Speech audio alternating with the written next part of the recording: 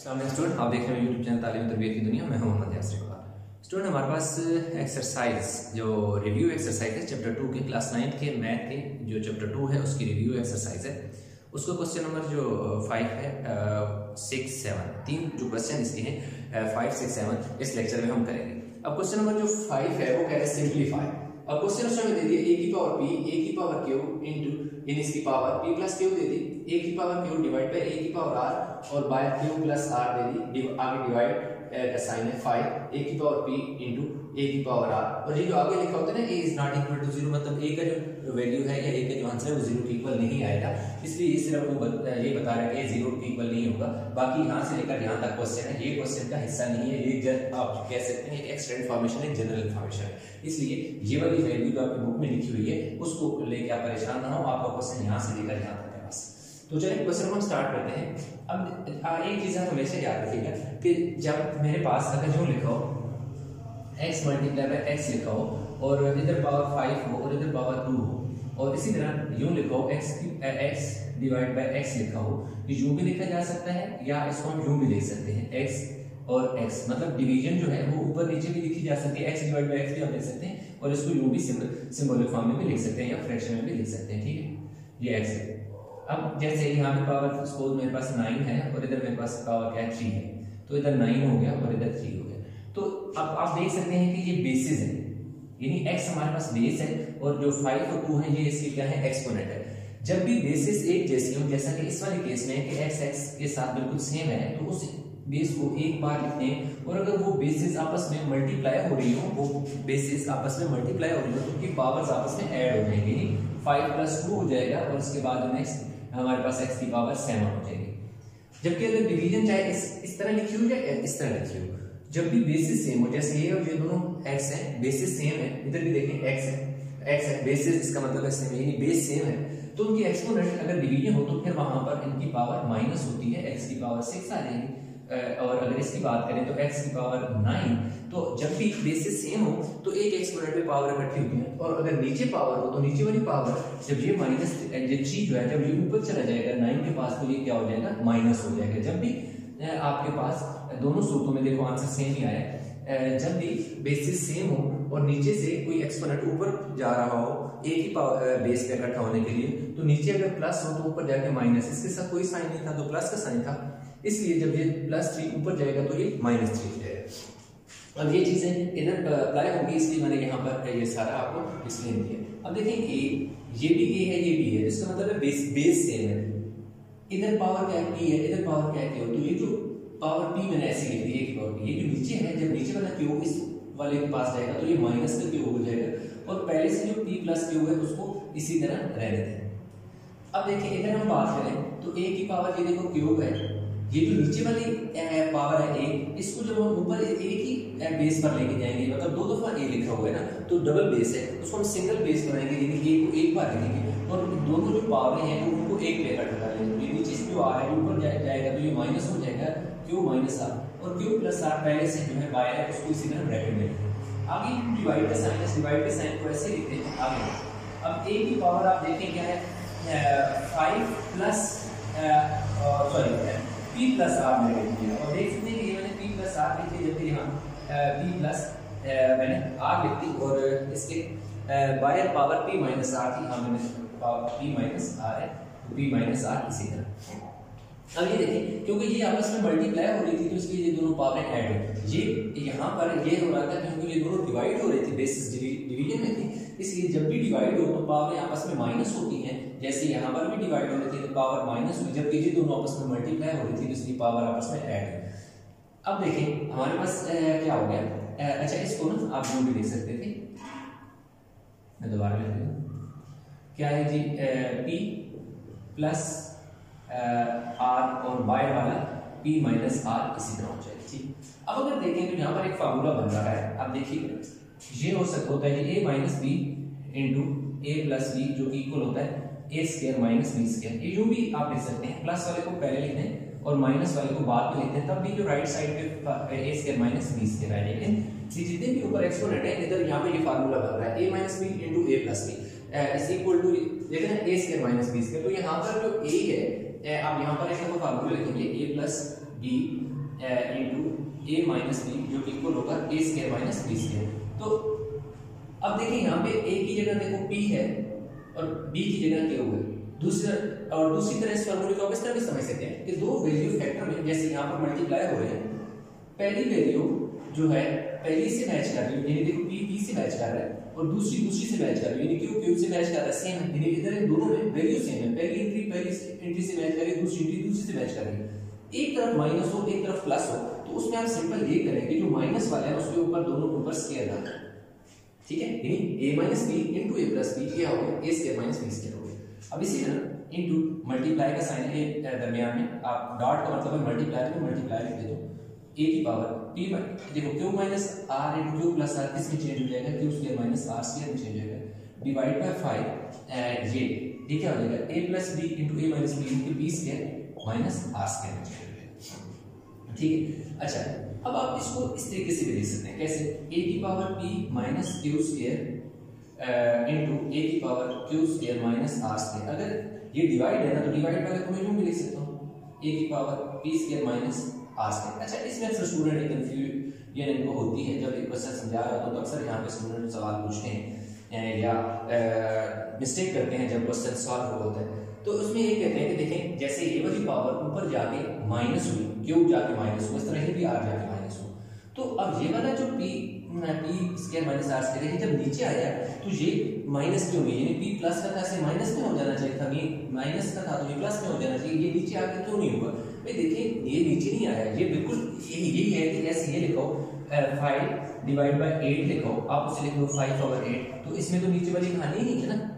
ये भी डिवीज़न लिखने का तरीका और ये भी, ये फ्रैक्शन में और ये सिंबल की फॉर्म में डिवीज़न को लिखा हुआ, यहाँ जब फ्रैक्शन की शक्ल में डिवीज़न को लिख दिए तो इसलिए इस जैसे मैंने इसको, इस शक्ल में लिखा इसलिए इस वाले डिवाइड वाले को मैंने ऐसे लिख दिया, ठीक है? इसलिए ये नीचे नहीं गया, अभी भी ये और ये एक ही बात है। यानी यहाँ पे भी ये डिवाइड हो रहा है और यहाँ पे भी ये डिवाइड हो है। अब देखें, अब तीन दफ़ा ये है, ये भी है, ये भी है, ये भी तीन बार ये है तो एक ए की पावर जो है, एक पे इकट्ठी हो। जाएगी p square minus q square अब ये जो क्यू स्क्वायर है, ये प्लस क्यू स्क्र हो गए और ये माइनस आर स्क्र हो गया। अब देखिए ये हुआ कि ये इस तरह गया ये जो p square minus q square था, ये वाली पावर और इसकी ये वाली पावर ये वाली पावर इस पावर के साथ ऐड हो गई क्योंकि ए को मैंने एक बार लिखा, पहली पहली पावर प्लस ये प्लस प्लस प्लस हुई, ये सेकंड वाली वैल्यू इसमें ऐड हुई। फिर ये जो नीचे वाली पी माइनस आर है ना, ये जो ऊपर जाएगा तो ये पी जो है, ये प्लस का है ना तो ये ऊपर जाके माइनस हो जाएगा, और ये माइनस वाला ऊपर जाके क्या हो जाएगा प्लस हो जाएगा। अब जो है पावर नीचे से ऊपर शेफल हुई है शिफ्ट हुई ये ऊपर से नीचे वाली नहीं थी, ये तो डिवाइड वो इस शक्ल की वजह मैंने इस शक्ल में लिख दिया था। इसलिए अब ये जो एक्सपोनेंट है, यहाँ पर ये वाला एक्सपोनेंट नीचे से जब ऊपर शिफ्ट हुआ तो p माइनस का प्लस का माइनस में माइनस का प्लस के आगे चेंज हो गया। अब देखिए इसमें सारा कट अब नीचे जो फाइव रह गया, उसको मैं इसी तरह लिख दूँगा। पी स्केयर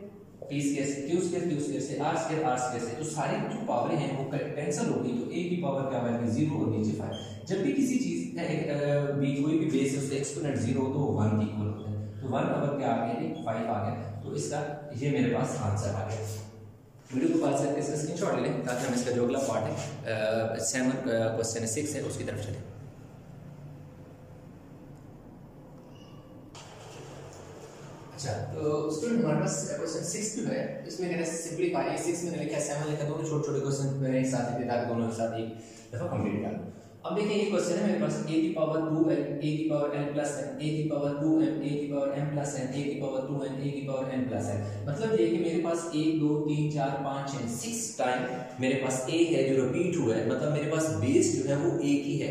जो ए है तो इसको मैं क्या करूँगा? आहिस्ता आहिस्ता सारे जो एक्सपोनेंट है, वो एक पे शिफ्ट करूँगा। सिर्फ़ एक जो बेस में लूँगा a, और उस पे शिफ्ट करूँगा। लेकिन सबसे पहले ये जो दो हैं, इन, इनसे एक बेस बनाऊँगा, इनसे भी मैं एक बेस बना लूँगा, इनसे भी एक बेस बना लूँगा। तो टोटल जो सिक्स बेसिस बेसिस हैं, वो थ्री में शिफ्ट हो जाएँगे। जब थ्री में शिफ्ट हो जाएँगे तो फिर वो सिंगल बेस में लेके सारे एक्सपोनेंट में एक पे इकट्ठा कर लूँगा, और क्वेश्चन सिंपली खत्म हो जाएगा। अब ये a है, ये a की पावर क्या है? 2l है। तो ये a की पावर ये जो l है, ये ऊपर जाके माइनस एल हो गया। और ये जो प्लस है मैं ऊपर जाके माइनस हो गया। ये देखें, दो बेसिस थी, दो बार थी। मैंने बेस एक बार लिखी और मैंने इन दोनों को क्या किया? एक बार जो एक्सपोनेंट है वो एक बेस पे शिफ्ट किया। अब देखेंगे a है 2m है। ये जो m है, ये नीचे वाला माइनस हो गया। ये प्लस ऊपर जाके क्या हो गया? माइनस हो गया। अगेन इसकी बात करूँ ए की पावर टू एन ये जो एन है ऊपर जाके माइनस हो गया ये प्लस एन एन जो है नीचे से जब ऊपर में शिफ्ट हुआ तो क्या हो गया? माइनस एन अब देखिए ये ए है ये दो एल माइनस है। मतलब ये दो एल माइनस एल का ये मतलब है कि मेरे पास ए, दो एल का मतलब है कि प्लस है प्लस है माइनस है। यानी जो टू एल है इसका मतलब दो दफ़ा है तो एक और एक एल तो क्या हो जाएगा? कट जाएगा। सिर्फ़ मेरे पास एक एल बच जाएगा तो एल इन दो एल में से एक एल एल बच गया फिर ये माइनस एम इसी तरह यानी ये टू एल माइनस एल था दो एल में से एक एल निकाला एक एल बच गया जो माइनस एम इसी तरह इसी तरह यहाँ पर भी वही काम होगा दो एम में से एक एम चला गया तो सिर्फ़ एक एम बच गया, और उसके बाद माइनस एम जो है, वो इसी तरह आ गया। अब इसकी बात करो तो इसी तरह इस दो एन में से एक एन चला गया तो सिर्फ़ एक एन बच गया, और फिर माइनस एन बच गया। अब जी जो बेसिस मेरे सिक्स टाइम थी उनको मैंने एक तो थ्री टाइम हो गई बेस जो है हाफ़ हो गई टोटल में से। और दूसरे जो है क्योंकि जो एक्सपोनेंट थे, उनको भी मैंने सिंप्लीफाई कर लिया। अब ये है कि मजीद इसके अकेले अकेले अकेले इनकी पावर एक्सपोनेंट जो है, वो मजीद सिंप्लीफाई नहीं होते। तो मैं क्या करूँगा, ये तीन दफ़ा जो बेस लिखा है ना, इसको मैं क्या लिखूँगा? एक बार बेस लिख दूँगा। मैंने एक लिख दिया। अब मैं इस वाली पावर लिखूँगा पहले एल माइनस एम उसके बाद प्लस कर दूँगा कौन सी? ये वाली पावर जो दूसरे, ए वाली है वो एम माइनस एन है। फिर इस मैं प्लस कर दूँगा थर्ड वाली भी एन प्लस एल भी। अब इसमें मैंने क्या किया कि जो बेस तीन बार थी उसको मैंने एक बार लिखा, पहली पावर फिर ये वाला प्लस का साइन फिर ये देखो दूसरी पावर प्लस ये तीसरी पावर इनको सबको इकट्ठा कर दिया तो अब देखिए, ये देखिए एल प्लस का एल माइनस से कैंसिल माइनस का एम प्लस के एम से कैंसिल माइनस का एम प्लस के एम से कैंसिल तो एज की पावर जो है वो ज़ीरो बच गई। जब भी किसी चीज़ की पावर ज़ीरो हो तो किसकी इक्वल होती है? वन की इक्वल होती है। इसका आंसर वन आ अब इस क्वेश्चन की तरफ़ चलते हैं।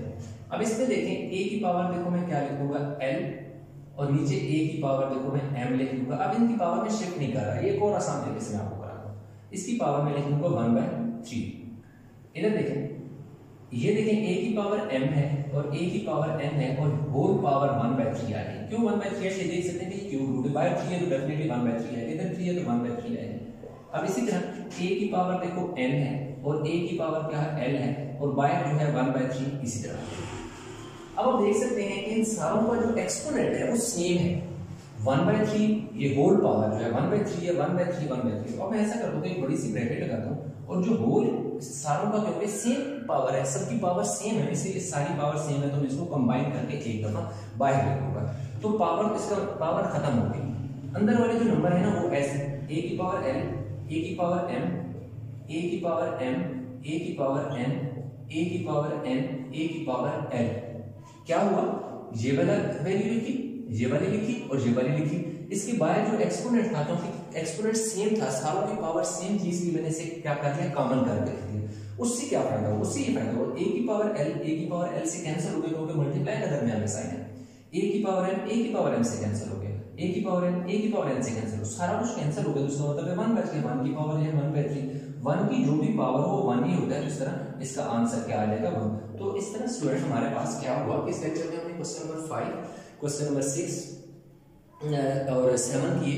इसका जो क्वेश्चन नंबर फोर है, उसको मैंने टू पॉइंट फोर के क्वेश्चन नंबर थ्री के साथ कराया है। उसकी रीजन ये है कि क्वेश्चन नंबर जो थ्री है वो और दूसरा जो रिव्यू में क्वेश्चन फोर है, ये दोनों बिल्कुल सिमिलर है, सिर्फ़ उनके डिनोमिनेटर में सिर्फ़ उनकी पावर चेंज है। एंड uh, जो ए की power minus one by two है और दूसरी की पावर यहाँ पे I think minus three by two है। ठीक है वन बाई टू और माइनस थ्री बाई टू का डिफरेंस है इसलिए वो मैंने दोनों को एक साथ कराया ताकि आपको पता चले कि वहाँ पे क्या आंसर है। वो लाजमी देखिएगा ये बड़ा इंपॉर्टेंट सवाल है।